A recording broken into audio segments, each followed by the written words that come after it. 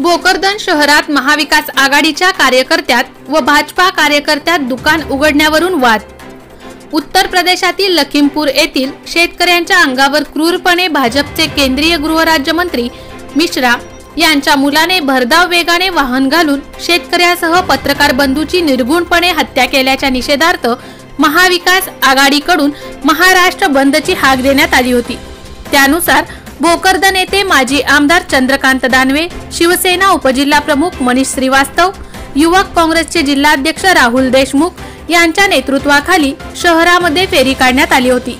यावेळी काँग्रेसचे तालुका अध्यक्ष त्रिंबकराव पाबळे राष्ट्रवादीचे तालुका अध्यक्ष रमेश सेठ सपकाळ शिवसेना तालुका प्रमुख नवनाथ दौड प्रहारचे श्रीमंत राऊत जिल्हा परिषद सदस्या सौ मनीषा जंजाळताई पंचायत समिती बी एन कड शिवसेनेचे मराठवाडा प्रमुख शेख नझीर उपजिल्हा प्रमुख सुरेश तळेकर राष्ट्रवादीचे भीमसेर भीमेसर एजाज शहा काँग्रेसचे उपनगराध्यक्ष इरफान सिद्दीकी शेख रिजवान रमेश जाधव शिवसेना शहराध्यक्ष भूषण शर्मा राष्ट्रवादीचे नईम कादरी राष्ट्रवादीचे युवक काँग्रेस तालुका प्राध्यापक अंकुश जाधव शेख जहीर शमीम बेग मिर्झा अनिल गावंडे रामेश्वर जंजाळ माजी नगरसेवक शब्बीर कुरेशी रफिक शेख श्रावण आक्से प्राध्यापक अमर शेख मुजीब कादरी यांच्यासह महाविकास आघाडीच्या पदाधिकारी व कार्यकर्त्यांची उपस्थिती होती.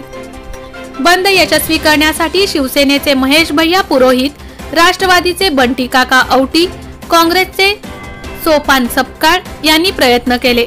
शेवटी शहीद झालेल्या शेतकऱ्यांना श्रद्धांजली वाहण्यात आली व भोकरदन शहरातील व तालुक्यातील व्यापारी बंधू आपले व्यावसायिक प्रतिष्ठान बंद ठेवल्याबद्दल महाविकास आघाडीतर्फे जाहीर आभार मानण्यात आले.